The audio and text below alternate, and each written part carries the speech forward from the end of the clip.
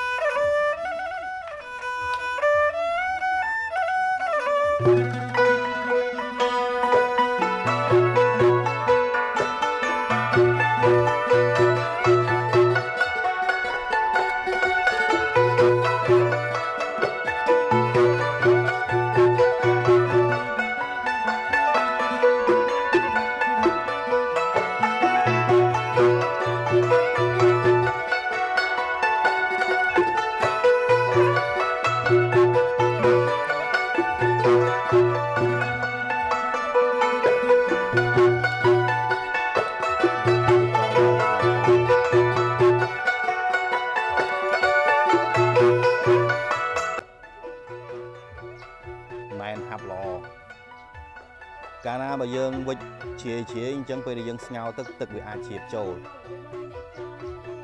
វាមិនដែលតែឥឡូវអ្នកចងចងវិចមួយមិនចុះ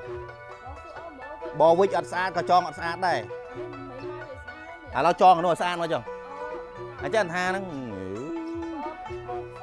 អាចារ្យថាហ្នឹងដោយសារម៉ែគាត់វិចបានស្អាតបានចងទៅវាស្អាត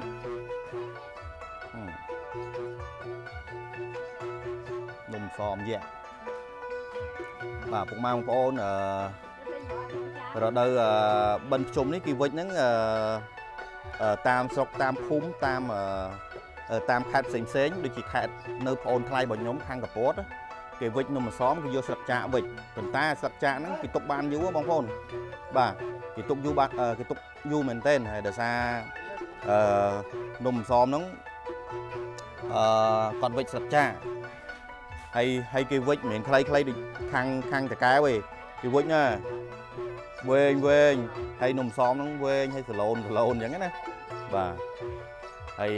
គួរឲ្យចង់ហូបហើយនៅនេះក៏មិនចាញ់នៅខាងកពតបានណាគួរឲ្យចង់ហូបដូចគ្នាតែនេះគេហៅថានំសមជ្រូកហើយបាទតែខាងនោះគេវិចនំសងដូងហើយបាទគេអត់ត្រូវចូលចិត្តសំសំអឺ ជ្រូកម៉ានទេបាទខាងនេះឆែកឆែកគេពងជូតផ្លឹកអេពងខ្វះផ្លឹកពងខ្វះ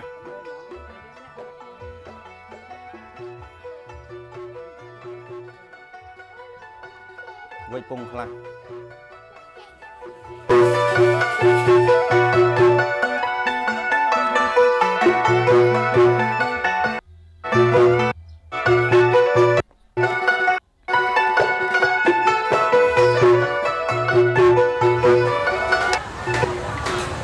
បាទអញ្ចឹងឪពុកម៉ែបងប្អូនឃើញរួចមកហើយនៅសកម្មភាព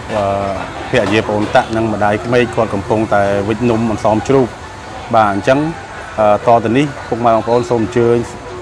សម្ដាប់នៃការរៀបរាប់របស់ប្អូនតាក់អំពីការវិចនំអន្សមជ្រូកដើម្បីជាប្រពៃណីឬក៏ជាទំនៀមទម្លាប់អ្វីនោះគឺ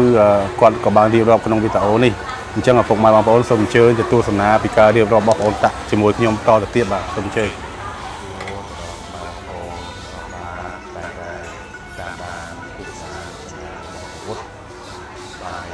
យ៉ាងខ្ញុំបានវីដេអូឡើង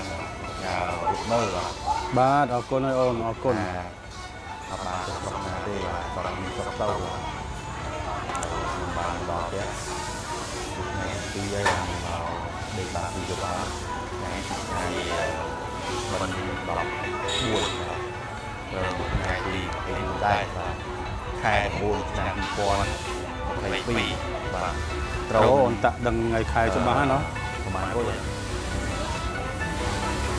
14រោចដែរបាទត្រូវ14រោចដែរបាទត្រូវពុសាបាទដល់ហើយមានស្រុកបងអត់មានស្រុកអូនអើយចង់បង្ហាញអឺពីសកម្មភាពនេះរងថ្ងៃនោះតែមិនថារងថ្ងៃសកម្មភាពដូចនំបាទបង្ហាញមកបងចង់ឃើញបង្ហាញតិចមកបាទដូចនំសែនអឺដូនតាមកកងរឿងមួយក៏ញាតសកលសម្ដាបាទក៏ជិះគូជិះចំណោតមក អូនតាក់មានមកកង់អូនតាក់ជាប់ខ្សែចិនមែនអឺគេហៅថាតាំងពីនំពលាយមករហូតអឺតាំងពីដើមមកគេហៅថាអាហ្នឹងទំនៀមទម្លាប់ណាអូបាទនឹងទលាទម្លាប់អូនណាអឺតាមស្រុកតាមភូមិគេអឺគេវិចនំវិចអីដើម្បីសែនដល់ថ្ងៃសែនអឺថ្ងៃសែនគឺសែនតាមផ្ទះគេមានធ្វើបាយធ្វើសឡ គេវិចនំជែកនំជាលនំសមហើយដើម្បីអឺសែនណាសែននេះជាទំនៀមទម្លាប់ខ្មែរយើងបាទបាទតែអូនរបាទដូវបិទជុំនេះគឺជារដូវបុណ្យមួយធំដែលដែលប្រពៃណីខ្មែរយើងដែលគាត់ទៅមានទម្លាប់តាំងពីដើមតាំងពីពីដូនតាមកយូរអង្វែងហើយមិនមិនដឹងថាតាំងពីពេលណាអូនតាក់ដឹងច្រើនជាងបងតតគ្នាតតកូនតចៅហ្នឹងណា បាទហើយពេលដែលបញ្ចប់នៅរដូវបិទជុំក៏មានគេហៅថាធ្វើទូធ្វើកំណោតដើម្បីជូនទៅដូនតាទៅមិនដឹងទៅខាងណាមិនដឹងថាអឺមានអឺធ្វើកប៉ាល់អូនធ្វើកប៉ាល់មិនជីអនំស់ជាលបាទដាក់អង្គដាក់អីដើម្បីអឺឲ្យយដូនតាគេថានិយាយនិយាយថាពាក្យឲ្យយល់ថាទៅស្រុកគាត់វិញជូនទៅស្រុកគាត់វិញបាទបាទ ហើយអឺបងគិតថាធ្វើកប៉ាល់មិនជីអស់ហើហើយយយើងគឺមានកាពៀងគឺយកទៅទៅដាក់ហើយហើយគេថាទូកអ្នកណាលេចមុនថាទូកហ្នឹងដូនតាហ្នឹងគឺដល់មុនហើយដល់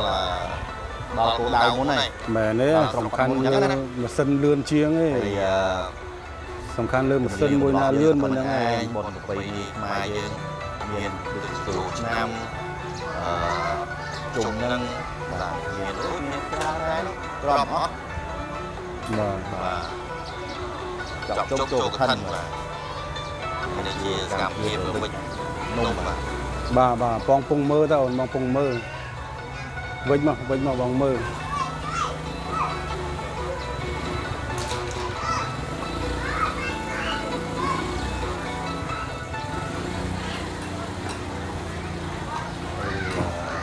នតាអត់អត់ទៅជួយវិញជួយវិញប្រពន្ធជួយវិញម្ដាយអត់វិចមួយដែរចង់ឃើញអន្តៈវិញមើលអឺស្អាតទេបាទអូចាំបានវិញនឹងមុំខ្ញុំណាអូបានវិញអួតអួតអួតហ៎ប៉ិនអួតហ៎ខ្ញុំស្អាតជាងគេឡើយខ្ញុំចូលវិចបារប៉ិនអួតហ៎ដោយសារយើងរៀនយើងរៀនវិចរៀនអីហើយទៅអញ្ចឹងអត់ពីពុកម្ដាយទៅអញ្ចឹងយើងថ្ងៃវិចតពូតចៅហើយយើងអត់ចេះអញ្ចឹងចប់គេហៅថា សេចក្តីថាចប់ from យើងហ្នឹងហើយបែបប្រពន្ធបរិញ្ញាទេតាមមើលតដែរអញ្ចឹងយើងប្រពន្ធបរិញ្ញានៅវិញទេចេះតែអួតហ៎ខែមុនខែទៀតយើងពេលយើងចាក់ទៅយើងអាចនឹងអង្គុយវិចចឹងអាហ្នឹងហៅថាតំណតលកដុំដូចទៅពូថាតំណតលើកដុំហ្នឹងអីគេអូថាកតំណដុំហ្នឹងអីតលគេកដុំបាទកដុំហ្នឹងអីគេអូតែកកដុំដុំកុំឲ្យលើកដុំពេកកដុំហ្នឹងអីគេអូកដុំអីគេ បងអត់យល់អត់យល់តំណតលើកដុំហ្នឹងអីគេកដុំអីគេកដុំអូនតាក់ចេះច្រើនពុកម៉ែបងប្អូនបាទអញ្ចឹងវីដេអូដែលបងអូនតាក់និងភរិយានិងម្ដាយក្មេកគាត់វិចនំសំជ្រូកនេះត្រូវបានបញ្ចប់ហើយហើយពុកម៉ែបងប្អូនយល់យ៉ាងណាដែរពីការរៀបរាប់របស់បងអូនតាក់នៅខាងលើនេះបាទយល់យ៉ាងណាដែរបាទហើយអញ្ចឹងឃើញថាការទៅលេងស្រុករបស់គាត់ជួបជុំម្ដាយក្មេកប្រពន្ធកូនបងប្អូន និងសាច់សាលោហិតញាតិមិត្តចិត្តខាងឃើញថាមានការសប្បាយរីករាយមែនទែនក៏គួរឲ្យកោតសរបាទគាត់អឺមានភាពសប្បាយជាងខ្ញុំដោយសារខ្ញុំមិនមានស្រុកកំណើតអីនៅតាមជនបទទេគឺខ្ញុំរស់នៅក្នុងទីក្រុង បាទកើតក៏នៅក្នុងទីក្រុងនេះដែរអញ្ចឹងឃើញថាខ្ញុំអត់មានស្រុកនឹងទៅនឹងគេបាទគួរឲ្យចំណែននឹងខាងបងប្អូនតាក់មែនទែនបាទបាទអញ្ចឹងវីដេអូនេះត្រូវបានបញ្ចប់ត្រឹមប៉ុណ្ណេះហើយពុកម៉ែបងប្អូនក៏សូម ខ្ញុំបាទក៏សូមគោរពថ្លែងអំណរគុណទៅកាន់ពុកម៉ែបងប្អូនទាំងអស់ដែលតែងតែនិយមទស្សនានិងអាណិតស្រឡាញ់ចំពោះខ្ញុំបាទពុទ្ធក្តីតាក់ក្តីបាទនិងបងម៉ៃកោក្តីបាទសូមគោរពជូនពរពុកម៉ែបងប្អូនជួបតែសុខភាពមង្គលក្នុងក្រុមគ្រួសារបាទនិងសុខភាពល្អអាយុយឺនយូរបាទនិងជាពិសេសជួបនៅពុទ្ធពរទាំង4ប្រការគឺអាយុវណ្ណៈសុខៈពលៈកំបីគ្លៀងគ្លៀនឡើយបាទបាទអញ្ចឹងចុងក្រោយនេះខ្ញុំបាទពុទ្ធក៏សូមអរគុណនិងសូមគោរពលាបាទ ពុកម៉ែបងប្អូនជួយចុច Subscribe ខ្ញុំអ្នកមួយផងនិងចុចរូបកណ្ដឹងផងដើម្បីទទួលបាននៅវីដេអូថ្មីៗអំពី Channel របស់ខ្ញុំបន្តទៀតពុកម៉ែបងប្អូនបាទ